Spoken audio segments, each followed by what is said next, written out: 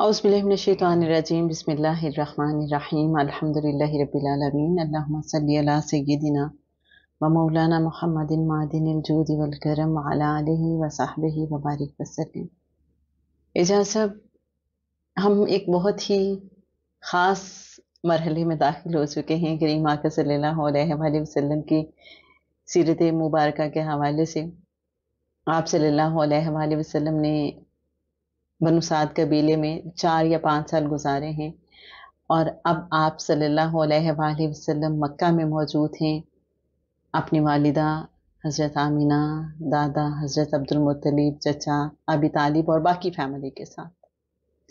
और मुझे तो जब मैं तसव्वुर की आँख से देखने की कोशिश करती हूँ तो मुझे यहाँ हज़रत हमज़ा भी नज़र आते हैं, हज़रत अबू बकर भी नज़र आते हैं और हज़रत अब्बास भी नज़र आते हैं कि इन सब का बचपन है ये तकरीबन। तो सब कहीं एक साथ बैठते उठते होंगे खेलते होंगे और वालिदा के साथ आप सल्लल्लाहु अलैहि वसल्लम का वक्त और अपनी फैमिली के साथ कैसा वक्त गुजर रहा होगा? लेकिन क्योंकि ये पहला एक्सपीरियंस है ना कायनात का, का। कायनात का सबसे बड़ा हवाला। जी। कायनात का सबसे बड़ा इंसान इमामुल मुरसलीन सैदुल अंबिया अपने घर आ गए। अपने वालिद के, वालदा के, दादा के घर आ गए। यहाँ पे ना हलीमा सादिया एक और चीज़ रिपोर्ट करती हैं। वो कहती है, जितना अरसा रसालत महाब सल्लल्लाहु अलैहि वसल्लम बनी साद में, बनी साद बिन बकर या मेरे घर, यानी अम्मा हलीमा सादिया के घर रहे हैं तो कभी ऐसा नहीं हुआ कि आपके कपड़े गंदे हो गए। जैसे बच्चे हम मैं फिर कहूँ हम सब जो इस उम्र से गुजर चुके हैं बच्चे जिनके पैदा हुए बड़े हो गए वो जो पहले दो तीन साल हैं वो बड़ी परेशानी के होते हैं ना। वो कहते हैं कि ना तो रसुल्ला ने कभी का कभी बिस्तर गंदा हुआ यानी मैं रात चैन की नींद सोती थी मुझे परेशानी नहीं होती थी ना कभी अदरवाइज़ कपड़े गंदे हुए। ना आपने कोई ऐसी बात कही जिस पे उनको डांटा जाता। ये जो आप बचपन की, हम पिछली निशस्त में बात कर रही थी ना, मैं एहसास की बात कर रहा था और आप चुने हुए की बात कर रही थी। तो चुने हुए का आलम यह है कि कोई उन्होंने ऐसी बात ही नहीं की जिस पे माँ या कोई बड़ा नाराज़ हो कि नहीं बेटा ऐसा नहीं करते। मैं इसकी एक बड़ी कॉमन एग्जांपल देता होता हूँ। जब बच्चा स्कूल जाने लगता है ना तो शुरू के कुछ दिनों में ना, वो अपने जोमेट्री बॉक्स में एक इरेजर या एक शॉर्पनर या एक पेंसिल ऐसी लेके आता है जो उसे माँ बाप ने लेके नहीं दी होती। हर बच्चा, आपने भी ऐसा किया होगा, मैंने भी ऐसा किया होगा, मेरे बच्चों ने ऐसा किया। आप उससे पूछते हैं, बेटा, ये इरेजर कहाँ से आया? ये शॉर्पनर कहाँ से आया? तो जवाब देते हैं, मेरे दोस्त ने दिया ये वो एज ही नहीं होती जिसमें बच्चे देने वाली सोच में आते हैं। अभी उनको सेंस नहीं होती ना।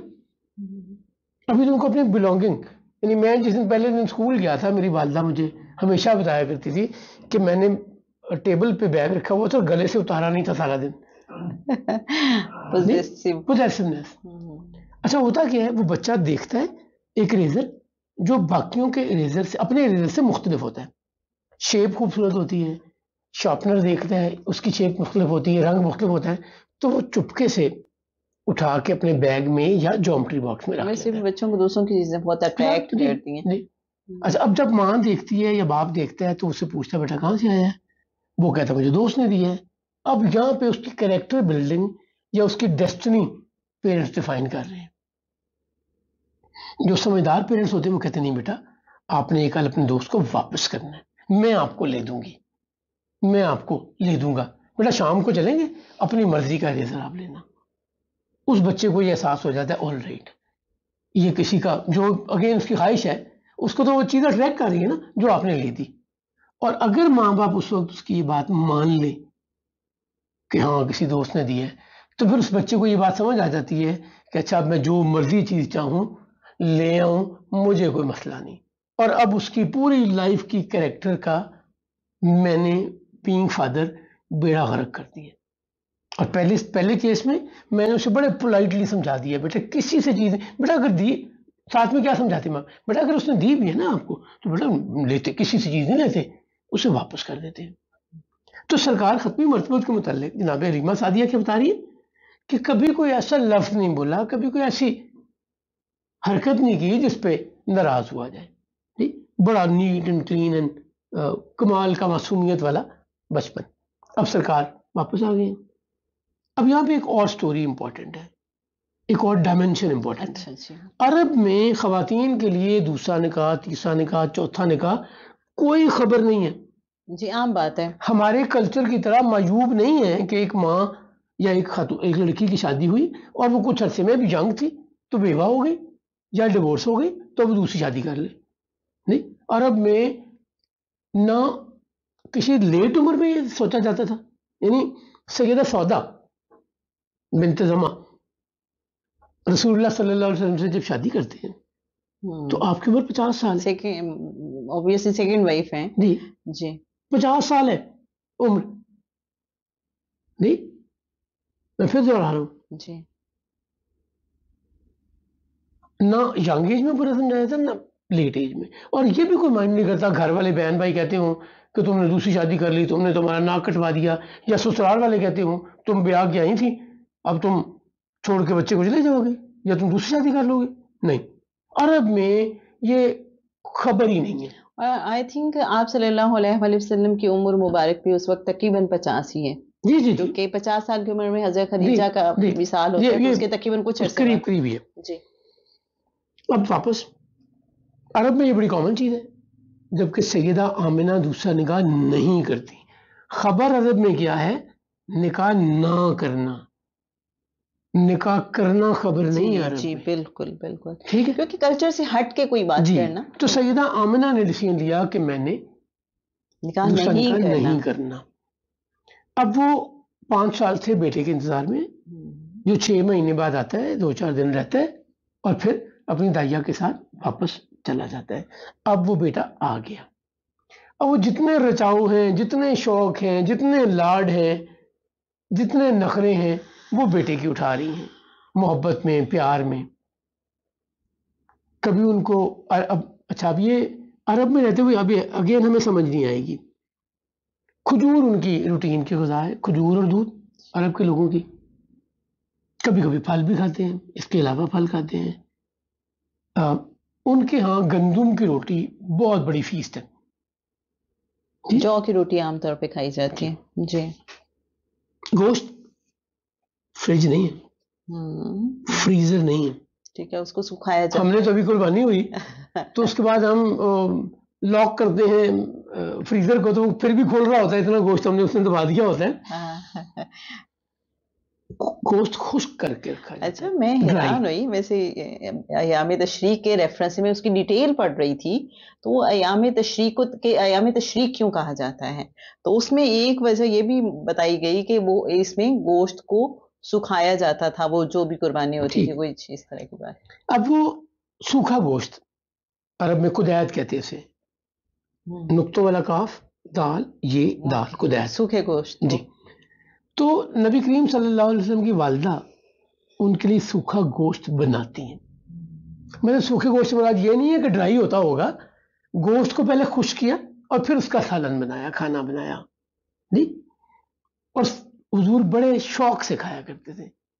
और हजूर बाद की उम्र में, बाद की स्टेज में याद किया करते थे कि मेरी वालदा मुझे कुदैत बनाकर खिलाती थी।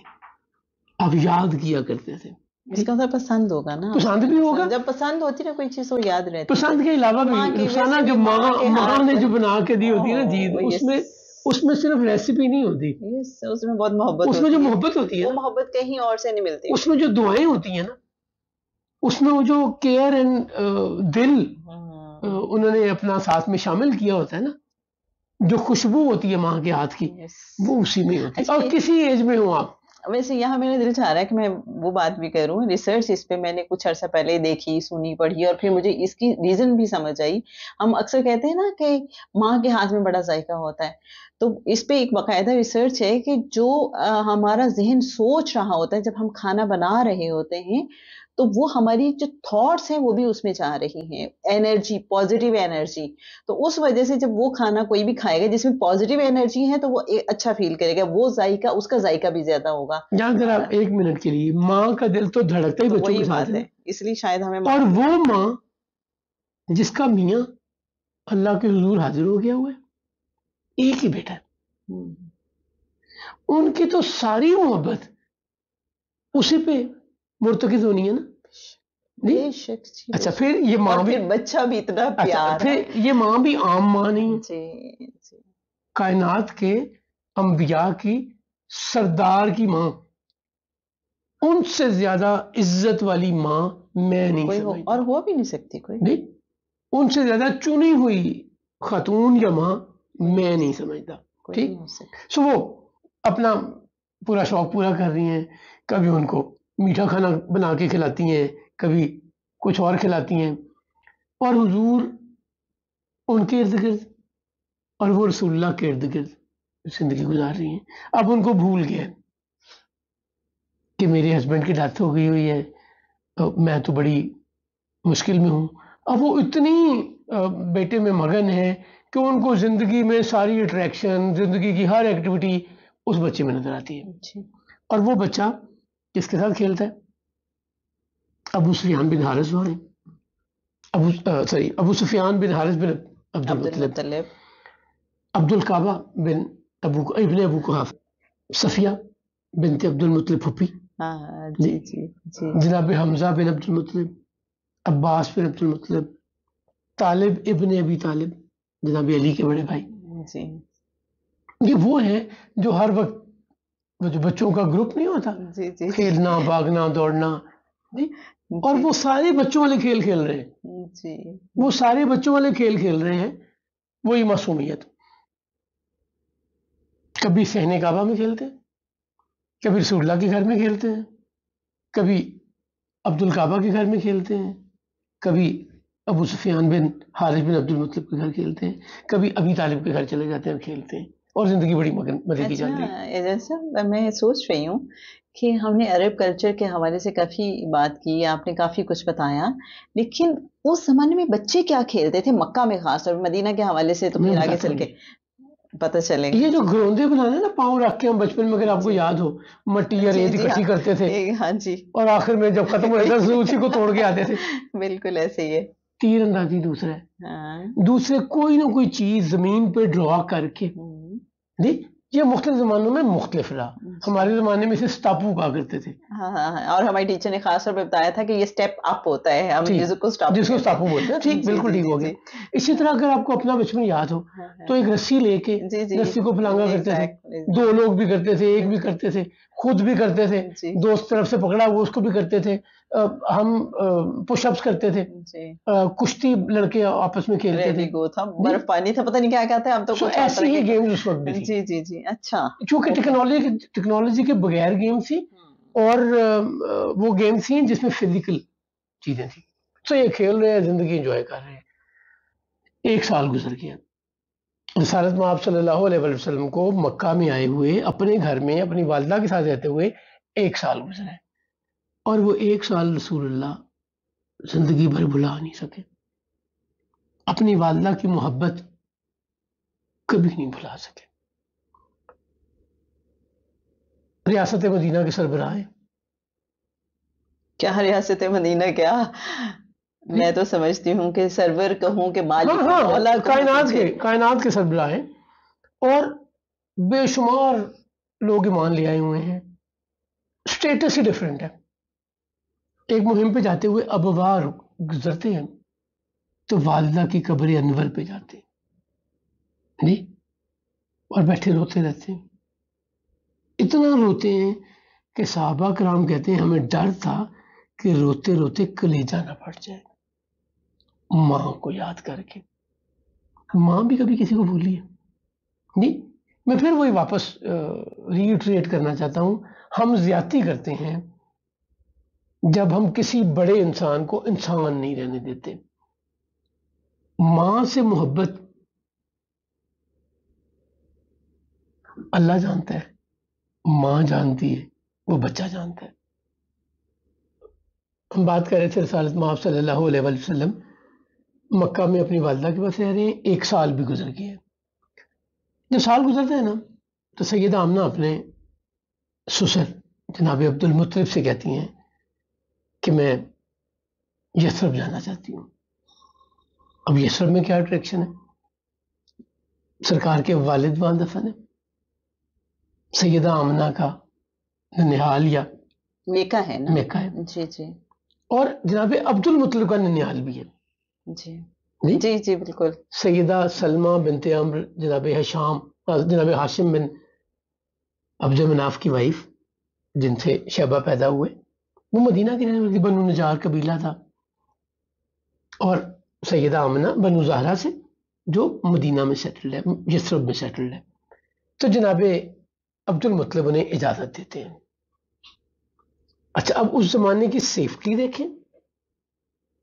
और उस जमाने की फीमेल विमेन एम्पावरमेंट देखें।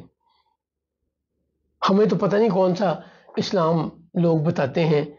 हमने तो औरतों को किसी जगह बंद करके हम समझते हैं दीन यही है। जी? अब मदीना मुनवरा या यसरफ जा कौन रहा है?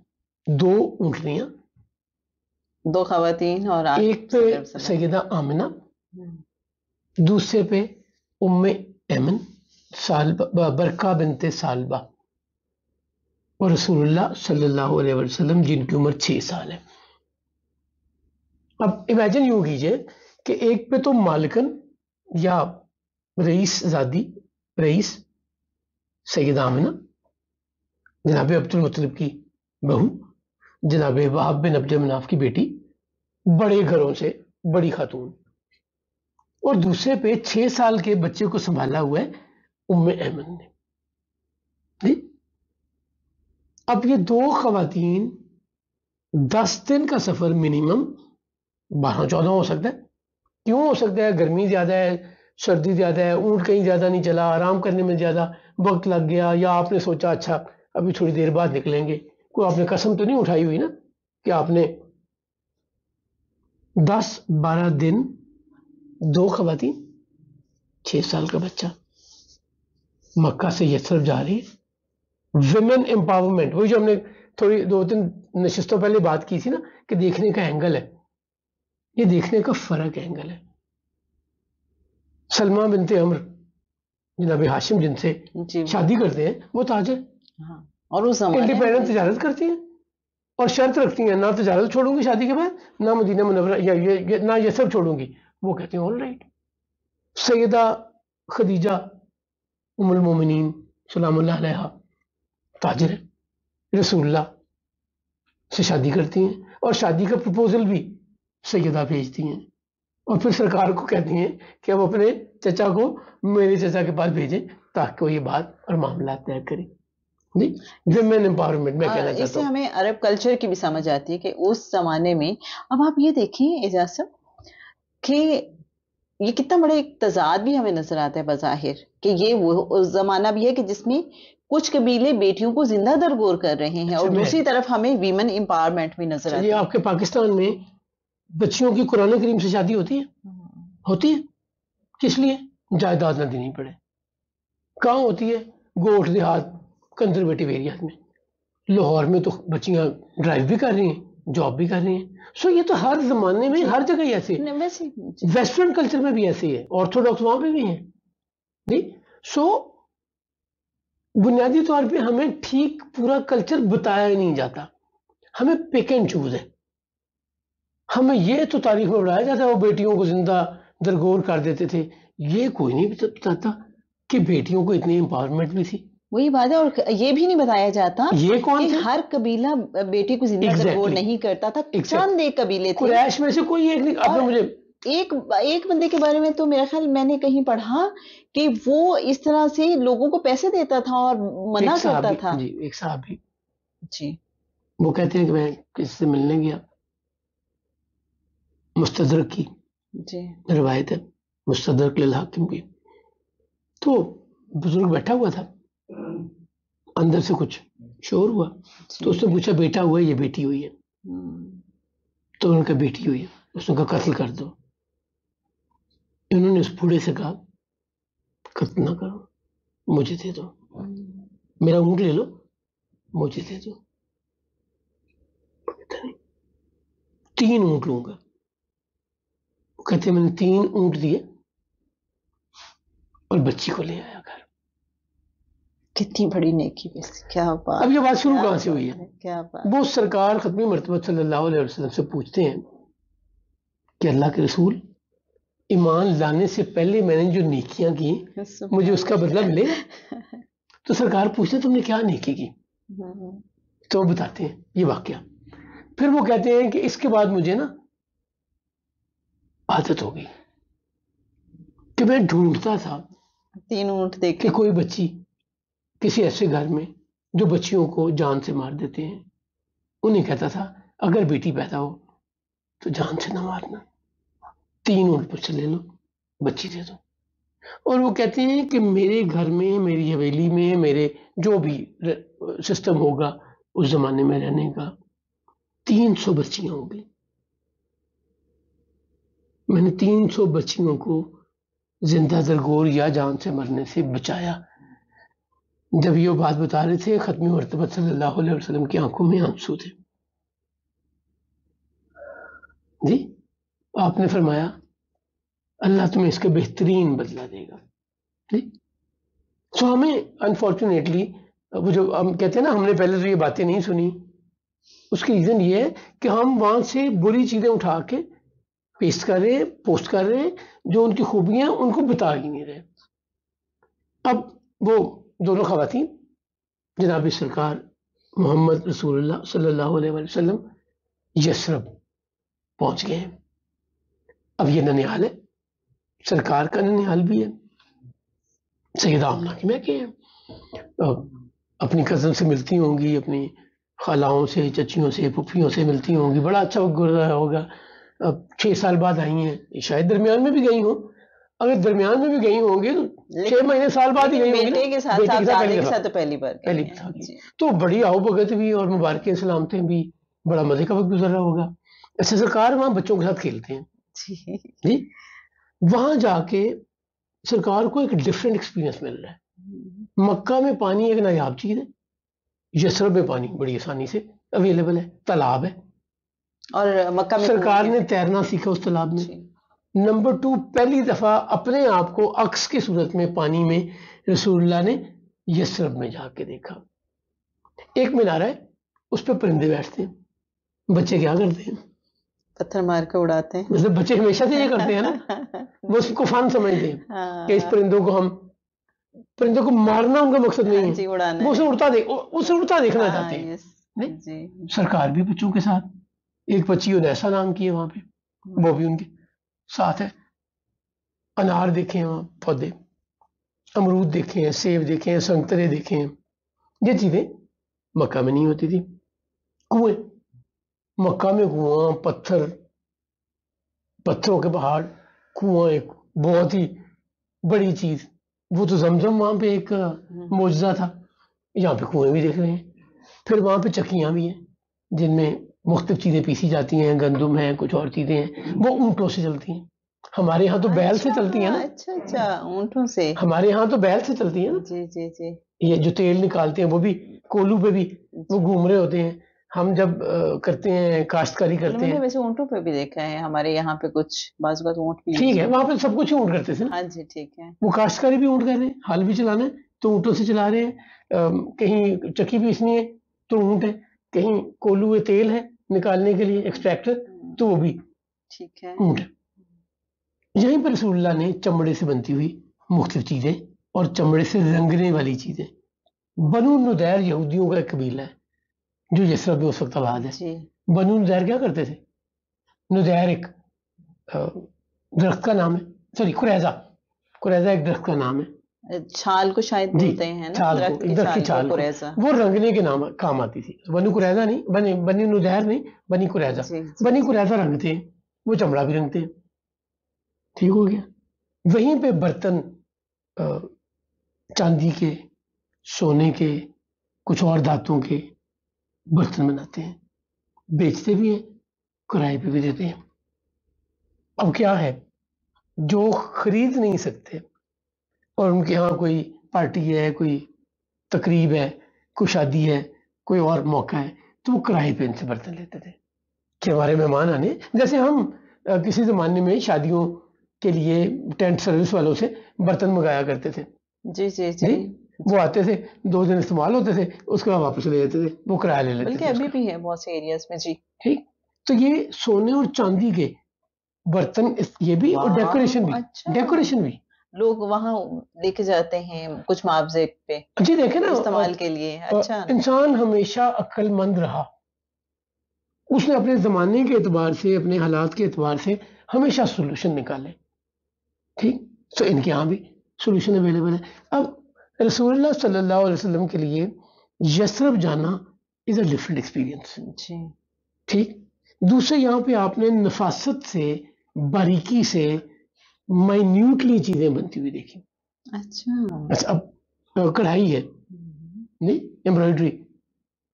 अब जो एम्ब्रॉयडरी मक्का में हो रही है वो मोटे धागे से हो रही है कपड़ा भी मोटा है और जो मदीना मुनवरा में हो रही है बड़ी बारीक पीनी से बड़ी खूबसूरती से वर्कमैनशिप क्राफ्टमैनशिप मदीना में डिफरेंट है। ज़्यादा नाजुक खूबसूरत और अच्छी है। सो रसूलुल्लाह सल्लल्लाहु अलैहि वसल्लम के लिए मौसम डिफरेंट है। कल्चर भी डिफरेंट है। कल्चर डिफरेंट है। जी? प्रोफेशंस डिफरेंट हैं। यहाँ पे प्रोफेशन भी डिफरेंट है प्रोडक्ट्स भी डिफरेंट हैं ठीक? इसी तरह पानी के केस में अब तैरता तैरना सरकार ने वहाँ सीखा है ठीक। जी जी जी।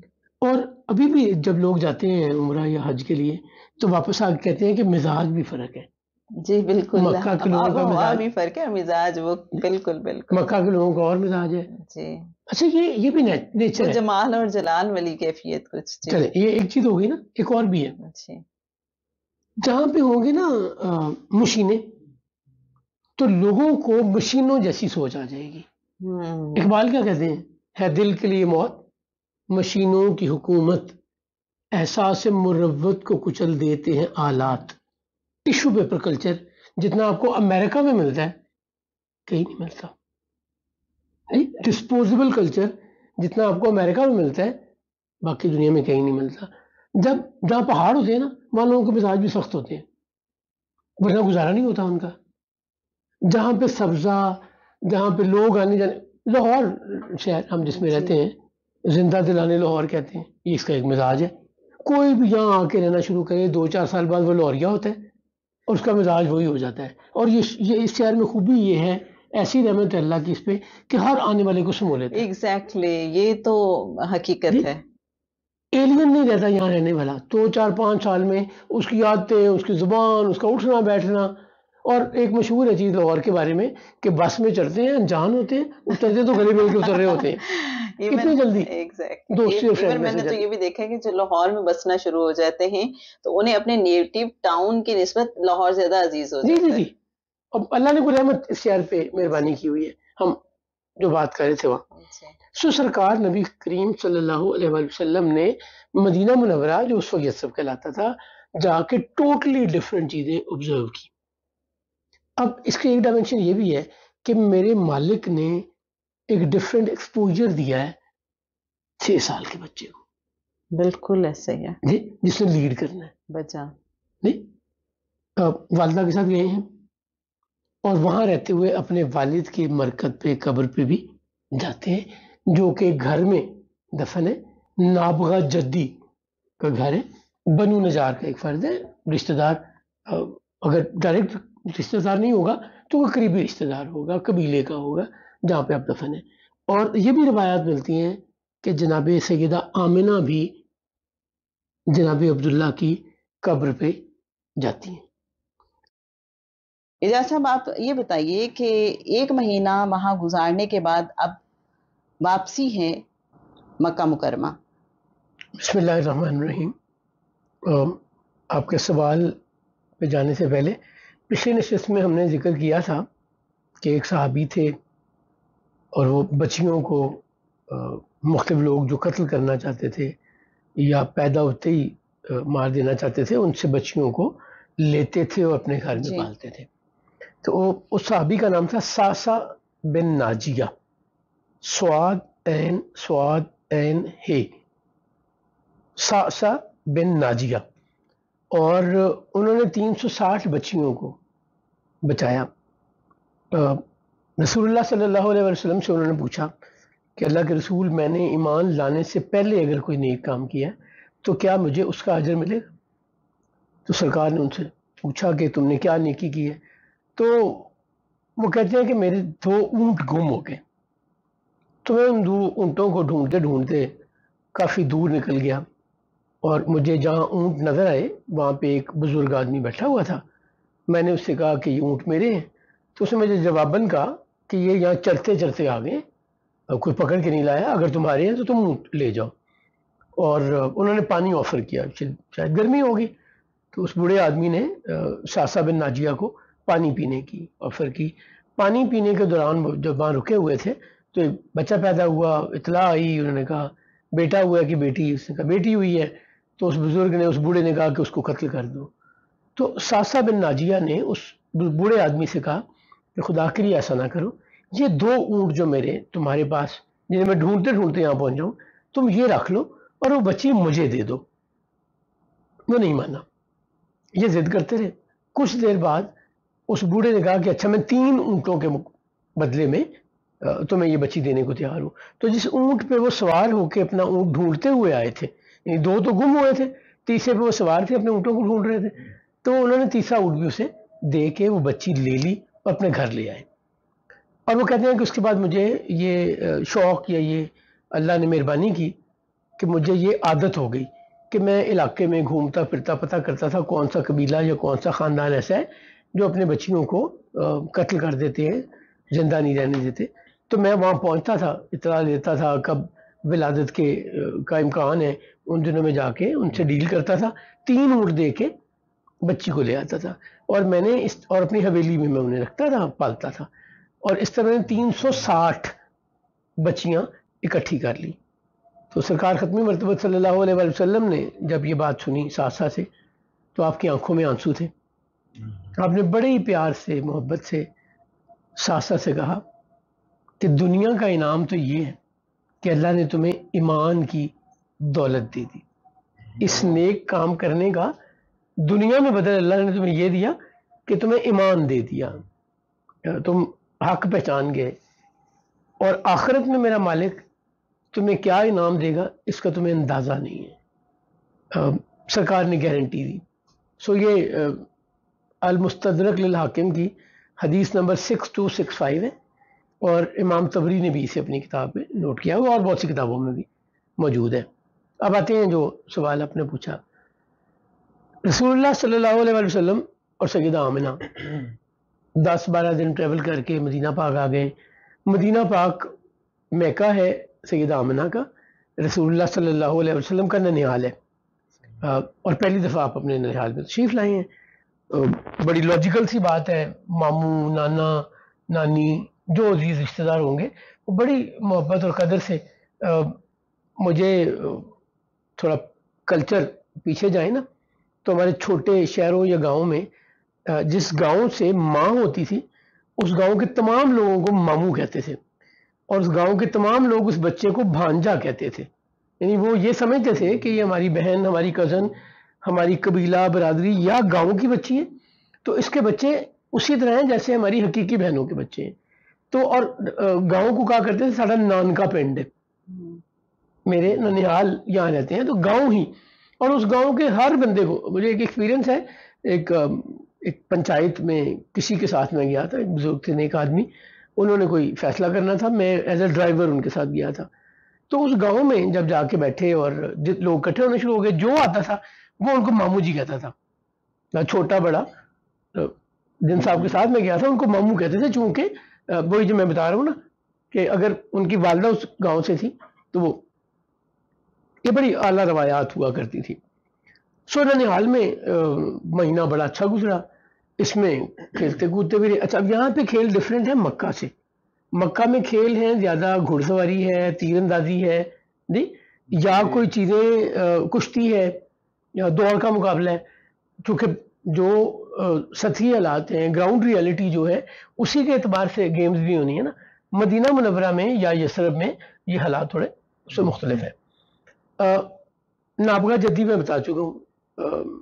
जिनके घर में नाबगा जद्दी के घर में दफन किया गया जनाब अब्दुल्ला को। सर यहीं पे वो बात थी एक जी। कि बीबी साहिबा जो हैं वो आ, उनकी खबर मुबारक पर भी गई थी। इस हवाले से भी पढ़ा था। जी जी, जा, जी जाती रही हैं। सही। रसालत माब सल्लल्लाहु को लेके भी जाती रही हैं और अकेली भी जाती रही हैं जनाब अब्दुल्ला की कब्र पे। और यहाँ पे ज़िमनन आपने बात एक और की थी अभी। जी।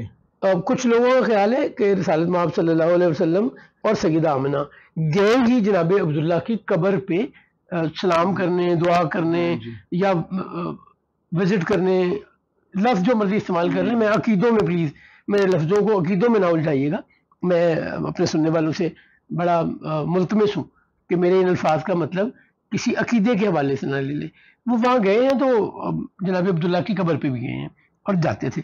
अब देखिए, है क्या?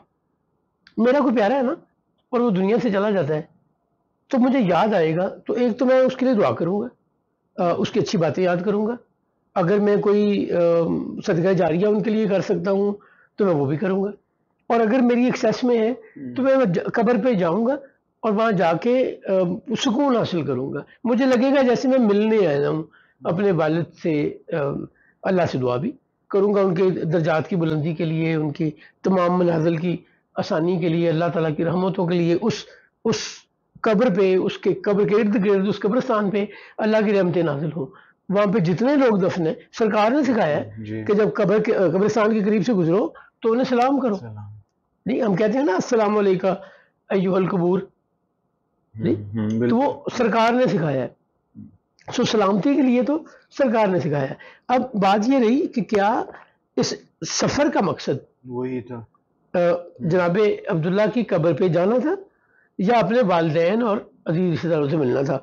मुझे दोनों में कोई मसला नज़र नहीं आता।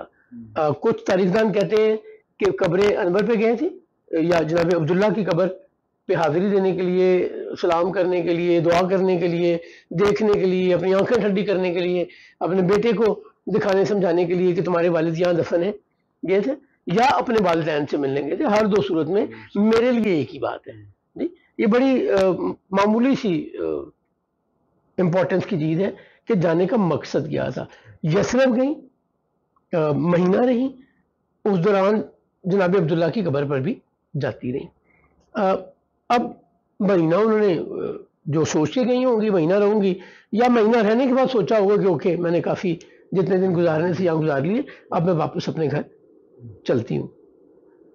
अब वापसी में फिर वही तीन लोग हैं। हम्म, हम्म, सैयद आमिना सरकारी ख़त्म मरतबत की वालदा जनाब रसूलुल्लाह सल्लल्लाहु अलैहि वसल्लम और उम्म ऐमन बरका बिनते सालबा। अभी यहाँ से निकलते हैं तो मक्का की तरफ़ ट्रैवल करने का रुख करते हैं। मैं ये पहले बता चुका हूँ कि कुछ दस बारह दिन का ट्रैवल है मक्का से मदीना मदीना से मक्का। हम्म। अब यहाँ पे एक बड़ी डिफरेंट सी इंफॉर्मेशन भी सामने आती है। सैयदा आमना उस रास्ते से वापस आती हैं मदीना मुनवरा से यसरफ से मक्का या ट्रेवल करती हैं जिस रास्ते पे अल्टीमेटली सरकार खत्मी मरतबा हिजरत करके जाते हैं। अच्छा। सरकार ने हिजरत की है हम्म, इस वाक़े के चौंतीस चौंतीस और तेरह। सैतालीस साल बाद। जब 53 थी सरकार की एज तो आप हिजरत करके मक्का से मदीना मुनवर आते हैं। और क्या करते हैं? निकलते हैं बैतुल्ला से या मक्का से वादी से निकलते हैं। और बजाय ट्रेवलिंग टुवर्ड्स यशरब आप यमन की तरफ़ चलते हैं और गारे सौर में जाकर रुक जाते हैं। सो पहली स्मार्ट मूव जो हिजरत पे रसूलुल्लाह सल्लल्लाहु अलैहि वसल्लम ने ये की कि उन्होंने सीधा जो राइज रास्ता था यसरफ जाने का, वो नहीं लिया। उससे उलट रास्ता लिया। वैसे इसकी क्या वजह? 47 इयर्स का गैप है ना अगर हम कहें तो उस टाइम आप सल्लल्लाहु अलैहि वसल्लम की उम्र छह साल है। जी। और तिरपन साल की उम्र में अगर आप सल्लल्लाहु अलैहि वसल्लम ने हिजरत की तो इट मींस के आफ्टर 47 47 ईयर्स इयर्स जी। जी। अच्छा अब अब बात हिजरत पे चली गई है जरा क्लैरिटी हम ले लें। जी। बाहर मारने के लिए घेरा डाला हुआ है? जी। जी। रसूलुल्लाह सल्लल्लाहु अलैहि वसल्लम उनके सामने से निकल के जाते हैं? यस सूरह यासीन की आयत तलावत करते हुए निकलते हैं। उनको ऊँग आ जाती है नींद आ जाती है जो बाहर पहरेदार हैं सरकार वहाँ से निकलते हैं। और जनाब अबू बकर इब्न अबू कहाफा के घर जाते हैं चूँकि उन्हें पहले से कहा हुआ है कि रात में हमने हिजरत करनी है। एक मुट्ठी खाक के बारे में भी तो बताया जाता है। अच्छा। फेंकते हैं। अच्छा वो मैं जानबूझ कर उस डिटेल में इसलिए नहीं जा रहा कि जब हम हिजरत पे जाएँगे तो हम उस वक्त इंशाल्लाह डिस्कस करेंगे। अब जनाब अबू बकर इब्ने कहाफा के घर जाते हैं।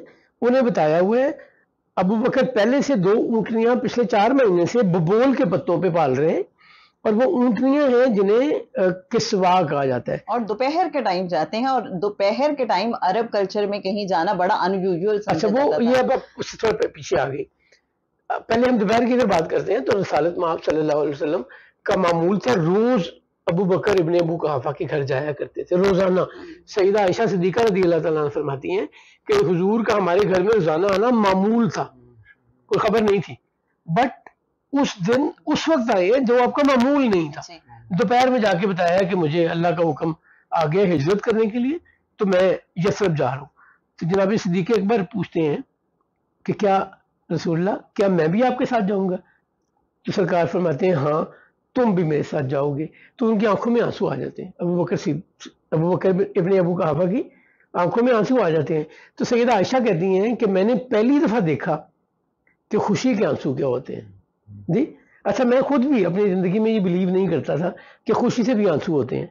फिर जब वो वक्त गुजरता है ना आप मुख्तलिफ़ किस्म के एक्सपीरियंसेस से गुजरते हैं मराहल से गुजरते हैं तो फिर आपको बड़ी समझ आती है कि ये खुशी के आँसू भी अपने कंट्रोल में नहीं होते। जैसे तकलीफ़ के आँसू अपने कंट्रोल में नहीं ना होते हम्म। खुशी के आँसू भी अपने कंट्रोल में नहीं होते शुक्र के आँसू होते हैं। सो वहाँ से उनके घर की पिछली तरफ़ से खिड़की में से निकलते हैं। यानी घर के दरवाजे से नहीं निकलते। क्योंकि उनका ख्याल यह है कि अगर मेन रास्ते से गए जो मक्का का मारूफ रास्ते हैं गलियों में तो किसी से इंटरेक्शन का इम्कान है। तो वो अबू बकर इब्ने अबू कहाफा के घर की पिछली तरफ़ की खिड़की से जंप करके निकलते हैं और दो ऊँटनियाँ पहले से पिछले चार महीने से अबू बकर पाल रहे हैं। और आप सल्लल्लाहु अलैहि वसल्लम यहाँ फरमाते हैं कि एक ऊँटनी की कीमत मैं अदा कर जी जी जी। ये अच्छा बड़ी ये बड़ा इंपॉर्टेंट पॉइंट है यहाँ पे। किस्वा ऊँटनी के बारे में मैं कुछ बताना चाहता हूँ। पहले तो हम अमूमी तौर पे यहाँ पे रहने वाले लोग जिनका ऊँटों ऊँटनियों से इतना इंटरेक्शन नहीं होता हम समझते हैं कि ऊँट ज़्यादा इम्पोर्टेंट है। अरब में ऊँटनी हमेशा ज़्यादा इम्पोर्टेंट रही। ट्रेवल के लिए भी और एडिशनल बेनिफिट ये था कि उससे खुराक भी मिल जाएगी दूध की सूरत में। तो अरब क्या करते थे? अपनी ऊँटनियों की के कान काट दिया करते थे। मुकम्मल नहीं काटते थे कुछ काटते थे। तो उससे वो ज़्यादा एक्टिव और एनर्जेटिक हो जाती थी। ज़्यादा ये तेज भागती ज़्यादा होती है ऊँट की निस्बत। अच्छा ये भी ये भी एक फैक्टर होगा। सही। दूसरी बात ये है कि किस्वा ऊँटनी उसको कहा जाता है जिसकी उम्र पाँच से छह साल हो। अच्छा। अरब में ऊँटनी की ऊँटनी की या ऊँट की हर एज का डिफरेंट नाम है। सही। अच्छा। ये मतलब हम तो कहते हैं ना ऊँट। हाँ, वो ऊँट छह महीने का तब भी ऊँट है या ऊँट का बच्चा है? और जब वो ऊँट, बड़े साइज़ का हो गया तो ऊँट है, ऊँट है ऊँट है ऊँट है, मरने तक ऊँट है। नहीं। अरब ऊँट की क्लासिफिकेशन होती थी कि अगर वो तीन साल का है तो उसका ये नाम है, पाँच साल का तो ये नाम है, सात साल का तो ये नाम है, दस साल का ये नाम है, इससे बड़ा तो ये नाम है। तो किसवा ऐसी ऊँटनी जिसके कान कटे हों और जिसकी उम्र पाँच छः साल हो। अच्छा किस्वा या कस्वा? क्योंकि किस्वा से इमीडिएटली हमारे जहन में गुलाफ काबा भी आता है। अच्छा, तो मैं- इसको मैं- कस्वा भी मेरा ख्याल कहते हैं। मैं इसमें अपनी काम इल्मी का एतराफ़ करते हुए मैं चूँकि एक अजमी हूँ अरबी में अगर मैं कहीं जेर ज़बर या किसी तलफ़ में गलती करूँ तो मैं पहले भी कहता हूँ आज भी कह रहा हूँ मैं माफ़ी चाहता हूँ। शायद कस्बा हूँ शायद कस्बा हूँ। अब ऐसे ऊँटनी ये दो ऊँटनी हैं। और पेश करते हैं अबू बकर रसूलुल्लाह को ऊँटनी तो सरकार फरमाते हैं मैं ऊँटनी के पैसे दूँगा तो सवारी करूँगा। वो कहते हैं आप मेरे दोस्त हैं आप मेहरबान हैं मेरी ज़िंदगी आपकी खातिर है मेरा सब कुछ आपके लिए है। अब ये दोस्ती से ज़्यादा नबी और उम्मती का रिलेशन भी बन गया हुआ है। हम्म, जी अब ये बराबरी वाली तो बात ही नहीं है ना। वो तो कहते हैं मुझे मौका मिल रहा है आपकी खिदमत करने का मेरे नसीब जाग रहे हैं तो आपकी मेहरबानी कबूल कर लें। तो रसूलुल्लाह सल्लल्लाहु अलैहि वसल्लम कबूल नहीं करते। जाती फ़ायदे के लिए। आप 400 दरम पे करके फिर उस ऊँट पे सवारी करते हैं. ऊँटनी पे सवारी करते हैं।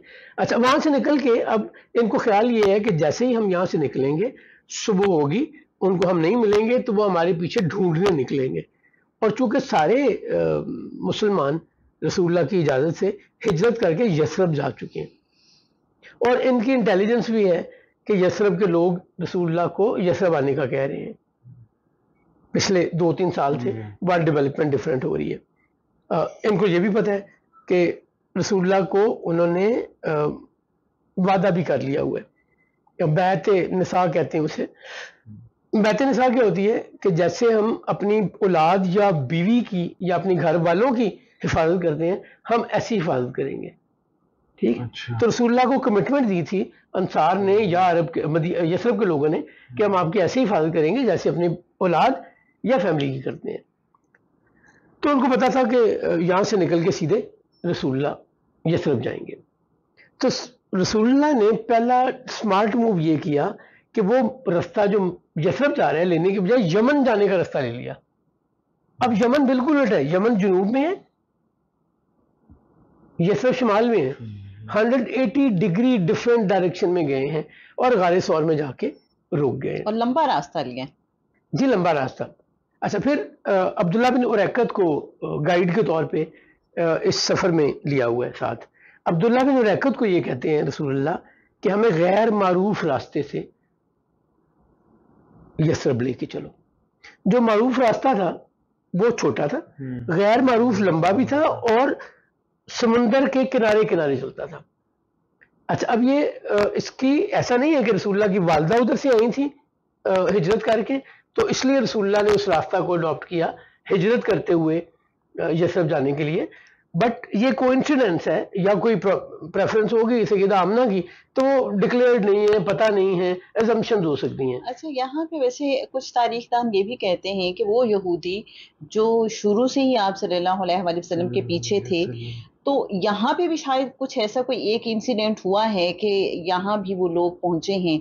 जब हज़रत आमिना आप सल्लल्लाहु अलैहि वसल्लम और उम्मी अमन के साथ मदीना से मक्का जा रही हैं या यसरब से मक्का जा रही हैं तो रास्ते में क्या कुछ ऐसा अच्छा मेरे मेरे इल्म में नहीं है लेकिन मुझे बात बात अपील करती है। जी। यानी वो छोटे रास्ते से वापस नहीं आ रही लंबा रूट ले यसरब से मक्का वो लंबा रूट लेके आ रही हैं और गैर मारूफ रास्ते वाला रूट लेके आ रही हैं। तो मुझे अपील ज़रूर करती है बात आपने जो भी कही है ना। अब मैंने कहीं पढ़ा नहीं मेरे इल्म में नहीं है बट इसका मतलब ये नहीं है कि मेरे इल्म में नहीं है तो हकीकत नहीं है। अब वहाँ से निकली हैं बदर। बदर से वो अबवा की तरफ़ रास्ता आता है। अब ये अबवा जो है यसरब से 226 या 227 किलोमीटर दूर है। ठीक है?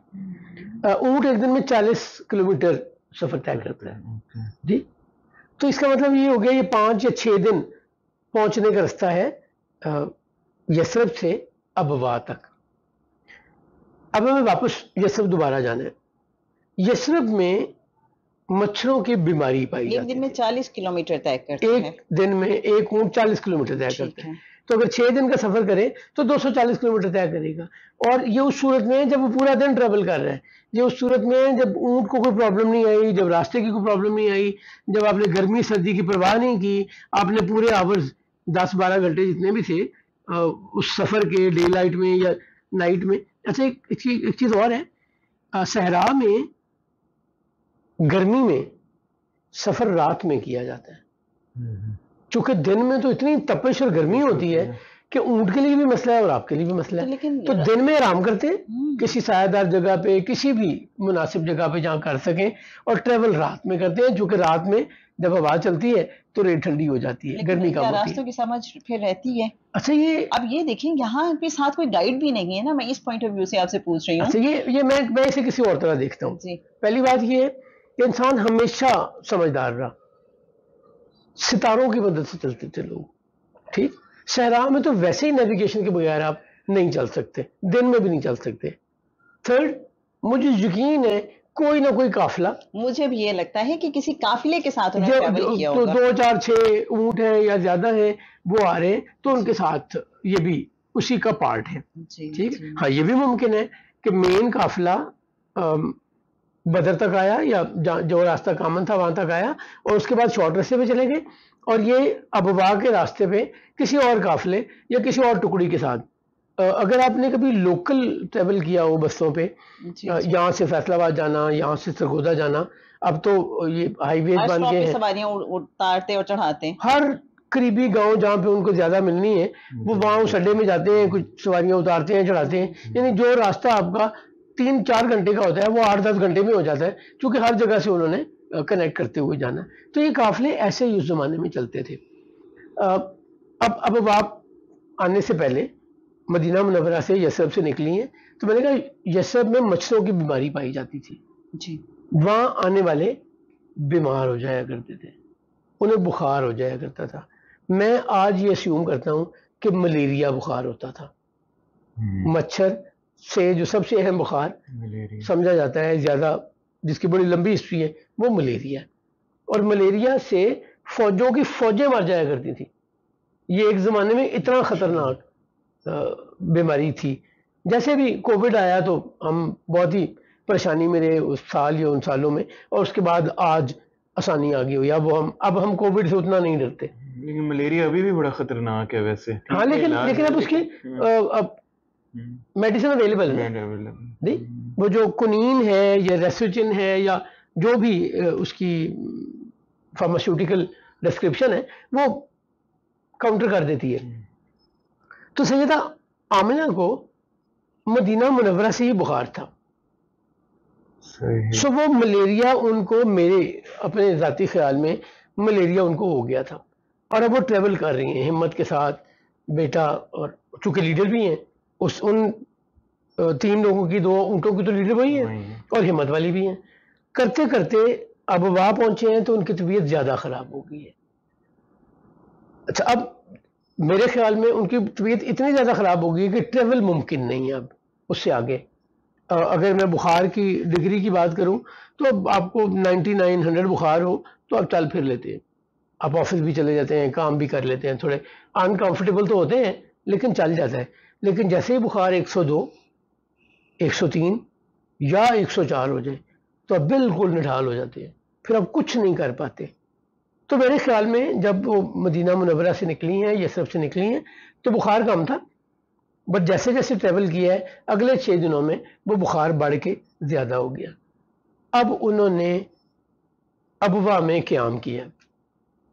अच्छा उस वक्त भी कोई ना कोई टेंट थे, खेमे थे या कोई सूरत ज़रूर थी जहाँ मुसाफिर लोग रुक सकते थे। कोई रिश्तेदार तो नहीं तारीख में मिलता कि अबवा में रसूलुल्लाह सल्लल्लाहु अलैहि वसल्लम या सैयदा आमना के ननिहाल थे ददियाल थे कोई रिश्तेदारी मिलती हो। और एक और बात मुझे ये याद आ गई सैयदा आमना की दादी का नाम आतिका है। जी। सैयदा आमिना की दादी का नाम आतिका है। और रसूलुल्लाह बड़े फख्र से कहते हैं मैं आतिकाओं का बेटा हूँ।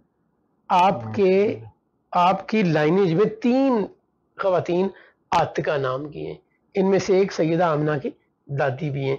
ये अपने अपने ज़माने की बड़ी स्टालवर्ट खवातीन रही हैं। बड़ी नामवर खातन रही हैं। बहुत बड़े किरदार रहे हैं। सो इससे हमें ख़ानदान और उन चीज़ों का पता चलता है कि रसूलुल्लाह सल्लल्लाहु अलैहि वसल्लम के ख़ानदान में बड़े लोग थे। ददियाल की तरफ़ से भी। वो तो हमने पूरी बीस इक्कीस पुश्तों को डिस्कस किया है उसमें जो इम्पोर्टेंट हमने समझे उनकी डिटेल भी डिस्कस की है। अब अब वाह में आ गए अब वाह में रुक गए हैं। और वहाँ पे जो भी हकीम या डॉक्टर फिजिशियन उस ज़माने के एतबार से थे वो इलाज करते हैं। वहाँ कुछ दिन गुजरते हैं। ऐसा नहीं हुआ कि इधर अबवा पहुँची इधर रुकी और इधर अल्लाह के हुजूर हाजिर हो गई ऐसा नहीं हुआ। वो हकीम या डॉक्टर जो वो काफिला सा साथ उसमें होगा। नहीं सर अब अबवा एक आबादी है ना? अच्छा आबादी थी आबादी अबवा एक गाँव का नाम है। ओके। जो बारह किलोमीटर लंबा और तीन किलोमीटर चौड़ा उस इलाके को कहा जाता है। ठीक है? और उसमें लोग रहते हैं। ये एक तीसरी चीज़ भी है। उस जमाने में या मंडी इंपॉर्टेंट होती थी नहीं? या रास्ते की डाइवर्जन इंपॉर्टेंट होती थी। सो जो गाँव या इलाके ऐसी जगह पे पाए जाते थे जहाँ पे मंडी थी या ऐसे इलाके पर ऐसी जगह पे पाए जाते थे जहाँ डाइवर्जन थी तो वहाँ लोग इकट्ठे हुआ करते थे और पर्पजफुली इकट्ठे हुआ करते थे कि अच्छा यहाँ पे उस इलाके के लोगों ने एक एक तरफ़ चले जाना है लेट से मैं अगर पाकिस्तान की पंजाब की बात करूँ तो एक इस्लामाबाद को रास्ता जा रहा है एक मुल्तान को जा रहा है एक कराची को जा रहा है एक पेशावर को जा रहा है हम्म। एक किसी और सिमत में जा रहा है तो वो जो हब बन जाएगा वो आप इम्पोर्टेंट हो जाएगा। अगर आपने कोई खाने पीने की चीज़ें लेनी है तो हब इम्पोर्टेंट है आपके लिए। अगर आपने कोई पानी लेना है या कुछ और ख़रीदना है तो वो हब इम्पोर्टेंट है। अगर आपने कुछ बेचना है तो तब हब इम्पोर्टेंट है।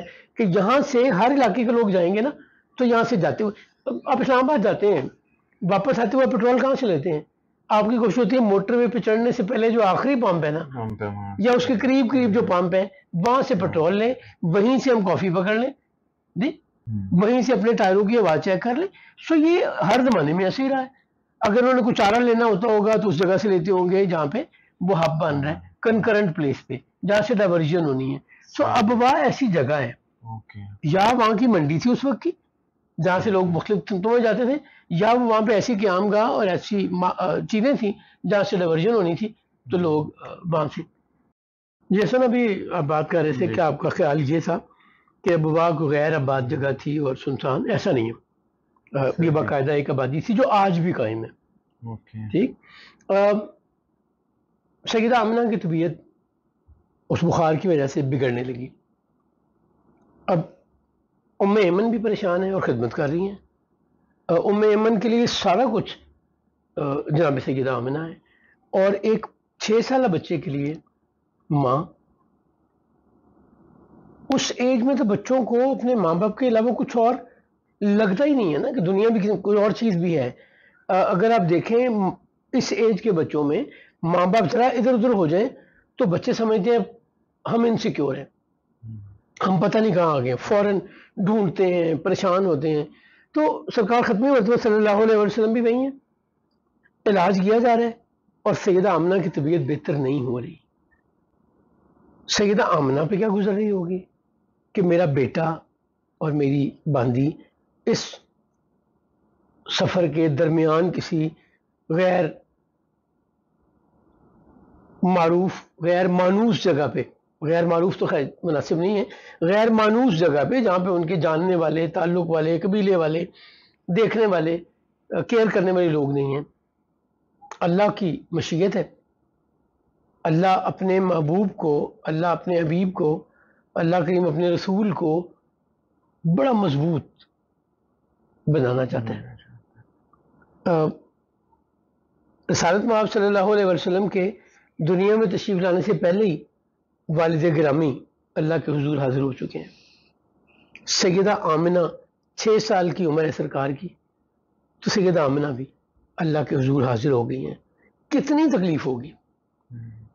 दियार गैर ना इधर अपना घर है, ना इधर अपना घर है। ये 226 किलोमीटर तय कर रहे हैं यसरफ से, और दो किलोमीटर अभी मक्का दूर है। कितनी इनसिक्योरिटी वाली सिचुएशन है। उमर यमन की उस वक्त उम्र कितनी है? सोलह साल। सोलह साल आज से चौदह सौ साल पहले। जब आज का एक्सपोजर बड़ा डिफरेंट है। आप छोटे से बच्चे को फ़ोन पकड़ाए ना मुझे तो समझ नहीं आती वो गेम ऑन कर लेता है। अपने अपने वालिद वालदा के फ़ोन पे नहीं कोई पकड़ा दे उसे फ़ोन वो उसमें से इधर उधर करके गेम उसने लगा ली होती है। इतना उसे एक्सपोजर या इतनी उसे इंफॉर्मेशन हम्म। मिल चुकी हुई है। ये वो ज़माना है जब लोगों को ना रास्ते आते हैं ना लोगों को बहुत लोगों से अनजान लोगों से बात करनी आती है आ, बड़ी तकलीफ़ से सूरत हाल है। सैदा आमना की डेथ होती है। तो जनाब ख़त्मी मरतबत सल्लल्लाहु अलैहि वसल्लम छः साल की उम्र पर रोते हैं। खूब रोते हैं। खूब रोते हैं। अपनी वालदा की, जिसमें अथर के साथ बैठे हुए हैं और रो रहे हैं। उम्म एमन रो रही हैं। अब उम्म एमन के लिए मसला क्या है? एक तरफ़ तो उनकी मालिकन, उनकी लीडरशिप, उनका भरोसा, उनका ट्रस्ट। जब आप अपने वालिद के साथ जा रहे होते हैं ना तो आपको किसी चीज़ की फ़िक्र नहीं होती। आपको ये ख्याल होता है वालिद साथ है? हर चीज़ हैंडल्ड है। वो सब कुछ देख लेंगे। वो बच्चा या बच्ची ये समझती है कि मेरे वाले दुनिया के सबसे ताकतवर इंसान है। मेरे वालिद दुनिया के सबसे समझदार इंसान है। मेरे वालिद अगर कोई शेर आ जाएगा तो उससे भी मुकाबला कर लेंगे। अगर कोई जिन आ जाएगा तो मेरे वाले सब उसको भगा देंगे दौड़ा देंगे। इतना ट्रस्ट होता है।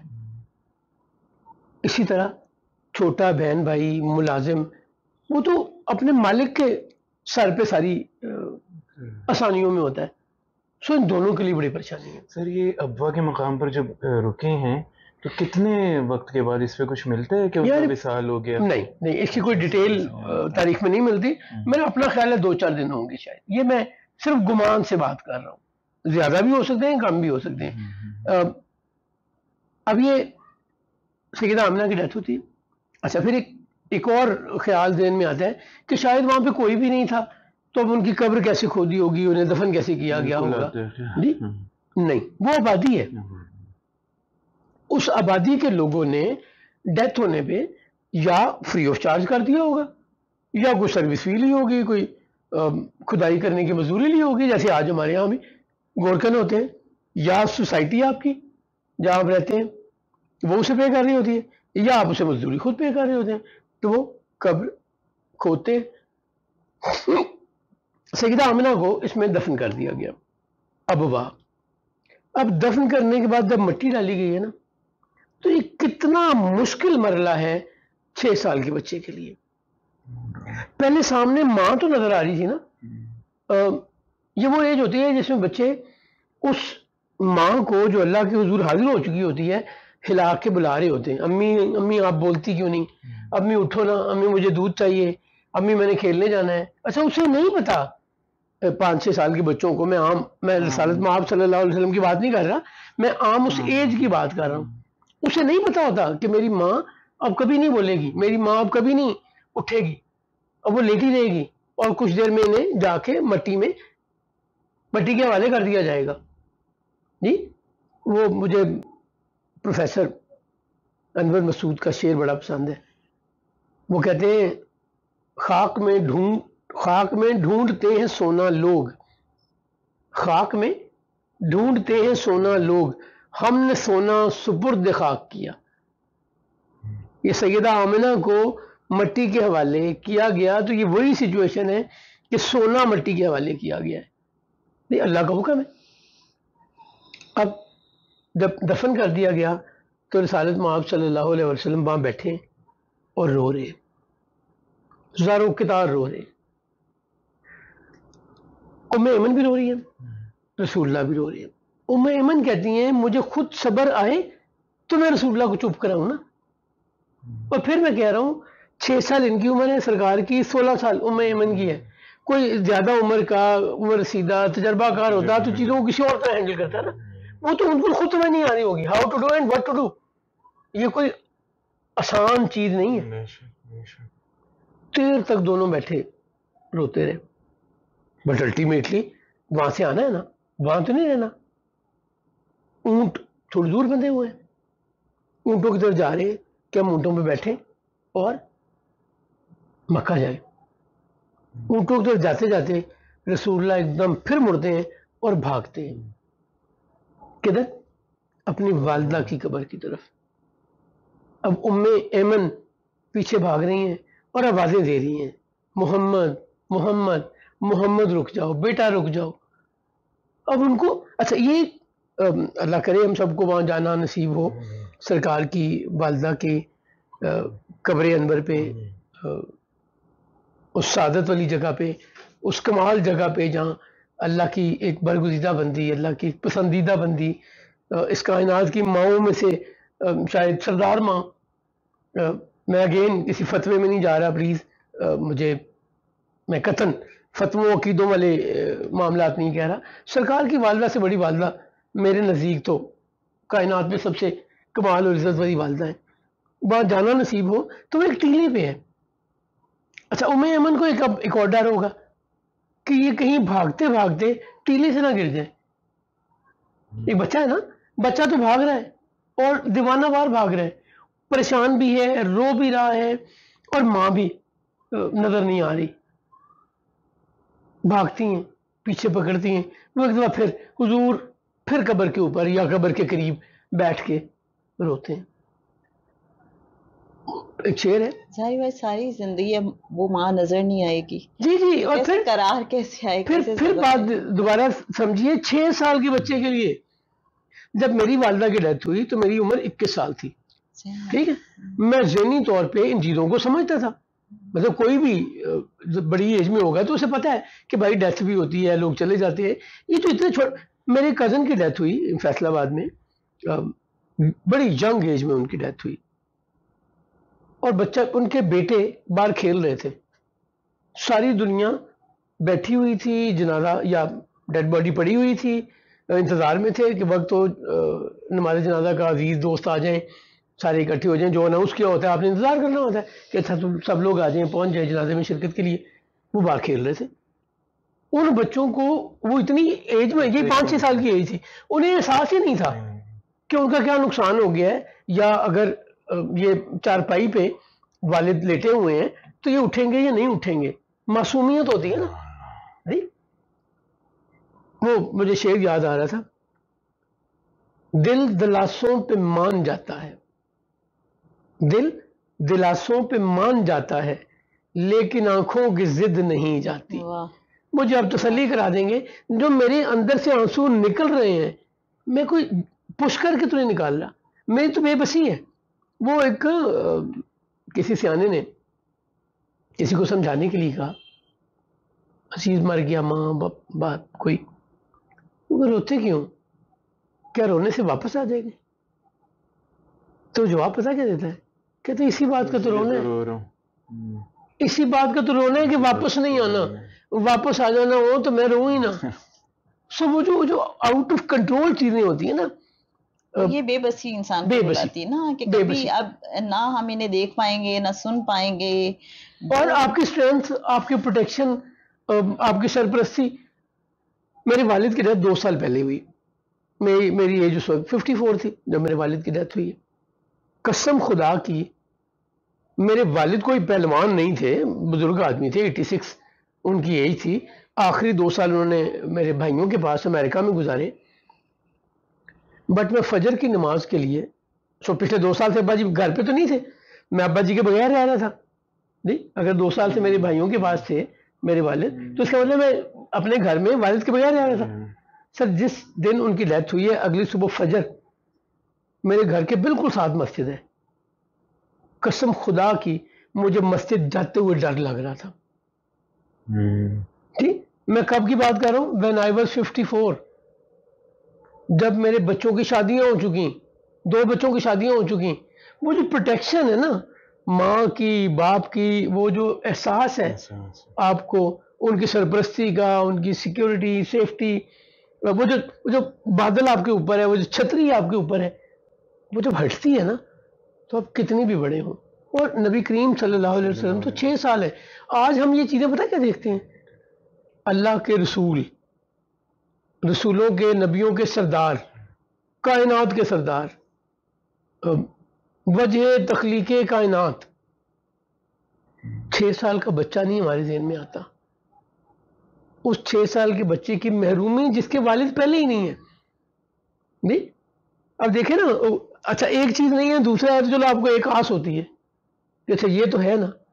जब दोनों माँ बाप ना रहे ना तो आपको अपना आप बिल्कुल ऐसे ही लगता है कि हवा के थपेड़े से इधर हो जाऊँगा हवा के थपेड़े से इधर हो जाऊँगा। एक दफ़ा फिर उम्मे एमन बड़ी मुश्किल से संभालती हैं, अपने ऊपर काबू करने की कोशिश करती हैं करती हैं, रसूलुल्लाह को ऊँट पे बिठाती हैं। और कैसे बिठाती हैं? सैयदा आमना का ऊँट खाली चल रहा है और रसूलुल्लाह के साथ जनाब उम्मे यमन बैठी हुई हैं इस खिदमत ख्याल से कि ये इनको कोई नुकसान ना पहुँचे ये कहीं गिर ना जाए ये कहीं किसी एक्साइटमेंट में किसी परेशानी में ऊँट से छलांग ना लगा दें वैसे फिर दिलजोई भी तो है ना अब उन्हें महसूस हो रहा है कि सारी ज़िम्मेदारी उनकी जो है। माँ है और फिर इस गम और तकलीफ़ की कैफियत में है तो ऑब्वियसली वो फिर फिर फिर वो उम्मे अमन बताती हैं कि थोड़ी थोड़ी देर बाद उस सफ़र पे भी वापस आते हुए कभी मैं रोने लग जाती थी। कभी सरकार रोने लग जाते थे। तो जब मैं ही मुझे ही नहीं सबर आ रहा मैं किसी को तसल्ली कैसे दूँगा? सर आप वसल्लम हर उस बड़े गम से गुजरे जिससे इंसान गुजरता है। मैंने भी Yes. एक बात कही थी। मैंने भी एक बात कही थी। अल्लाह करीम अपने महबूब को जो ज़िम्मेदारी देने जा रहा है उसने उनमें वो खूबियाँ इन बिल्ट की हैं असबाब की दुनिया है असबाब की दुनिया है जी? और फिर जब हम कहते हैं ना कि सरकार की ज़िंदगी में अल्लाह करीम फरमाता है तुम्हारे लिए बेहतरीन अमली नमूना है रोल मॉडल है। तो उसके लिए भी रोल मॉडल है जो यतीम है। उसके लिए भी रोल मॉडल है जिसकी माँ नहीं है। यतीमों के सरपरस्त यतीमों के वाली और जो जो हैं। और ये कमाल ही मैं तो सरकार की ज़िंदगी में मैं। बहुत से कमालात के साथ ये कमाल देखता हूँ एक यतीम यतीम परवर बन गया। हम्म, यानी कितनी बड़ी अचीवमेंट है। अच्छा ये एक एक और मुशाहिदा है कि जो यतीम बच्चे होते हैं ना ये स्ट्रांग हो जाते हैं। इनको उस पैम्पर होने की उस लाड की आदत नहीं पड़ती जो माँ बाप की मौजूदगी में पड़ती। है उनको पता होता है we have to face it तो अल्लाह ने अपना महबूब, अल्लाह ने इस कायनात के सरदार तो मज़बूत दिखाना है ना, मज़बूत बनाना है। तो उन सारे मराहल, उन सारी चीज़ों से गुजारा है, जिससे बेहतरीन शख्सियत सामने आ सकती है। तो आज के लिए फिर अल्लाहुम्मा सल्ली अला सय्यिदिना व मौलाना मुहम्मदिन मिन नबीजिल उम्मीजिल करीम व अला आलिहि व सहबिहि व बारिक वसल्लम